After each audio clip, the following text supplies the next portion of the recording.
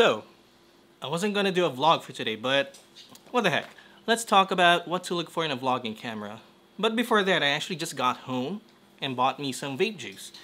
And I was thinking about changing the cotton on my vape mod.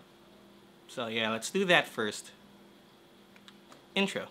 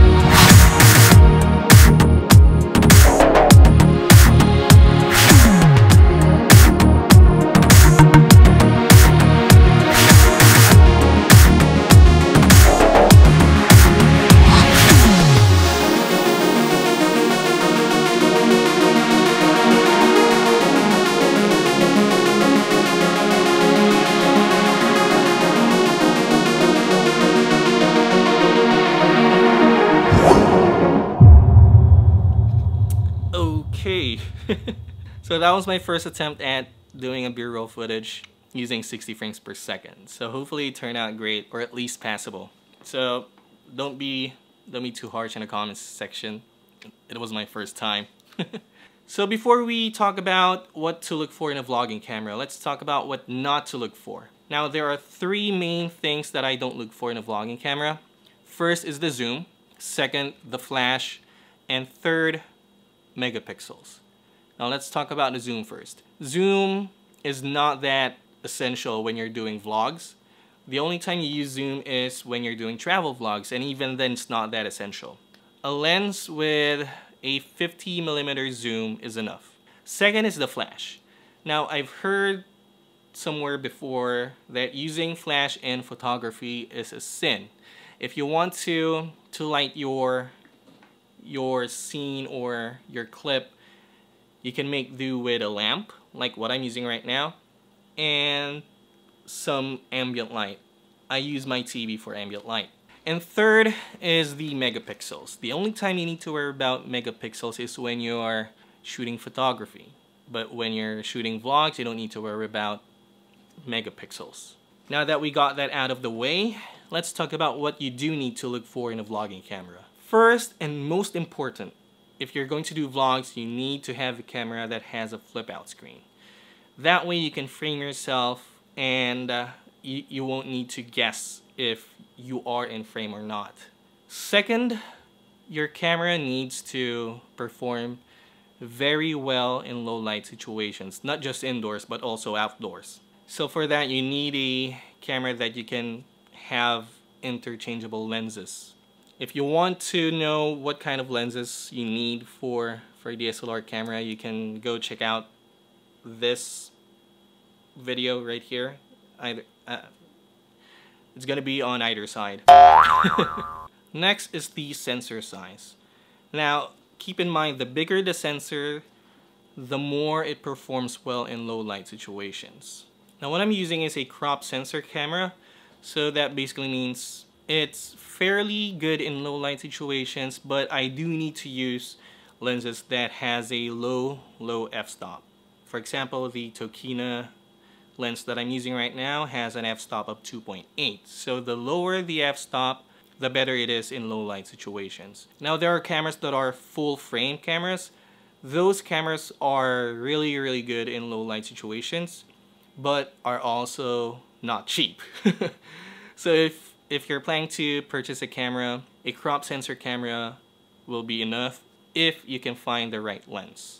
Another thing that you need to, to look for is optical image stabilization. Now there are lenses that have image stabilization, but for when your lens doesn't have it, look for cameras that do have uh, a built-in image stabilization. It might not be as good as lenses that do have IS, image stabilization, but if you can't afford cameras that have image stabilization, it wouldn't matter really because for vlogs you're mainly using wide angle lenses, um, like this one.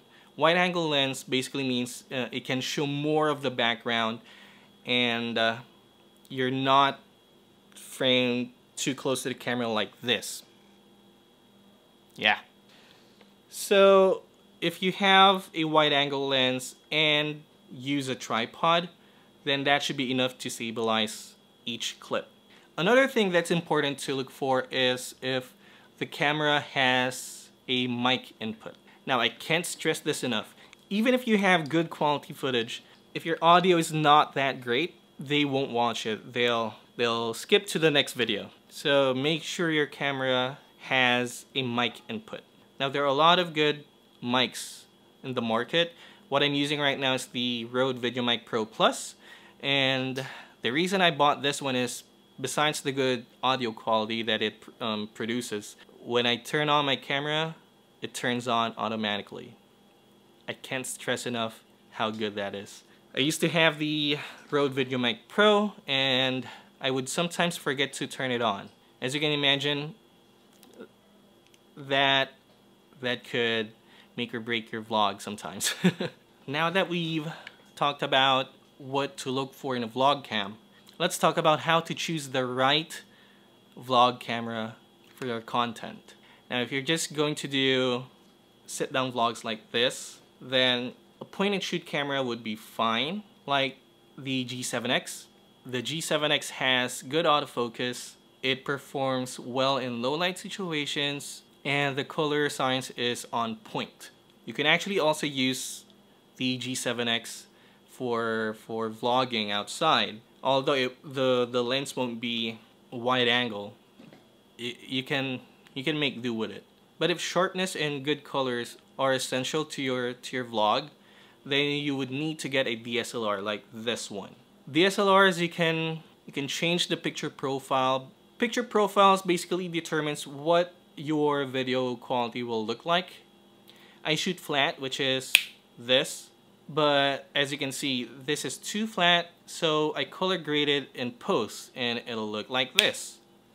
If you want to be able to do this, you would need a DSLR camera. Point and shoot cameras don't necessarily offer uh, a flat picture profile. You would have to make do with their preset picture profiles. Also, know where you'll spend most of the time vlogging.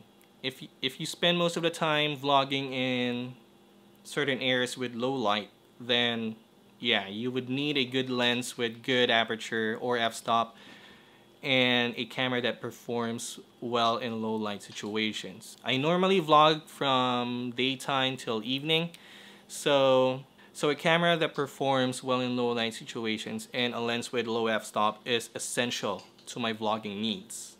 So yeah, basically that's that's it.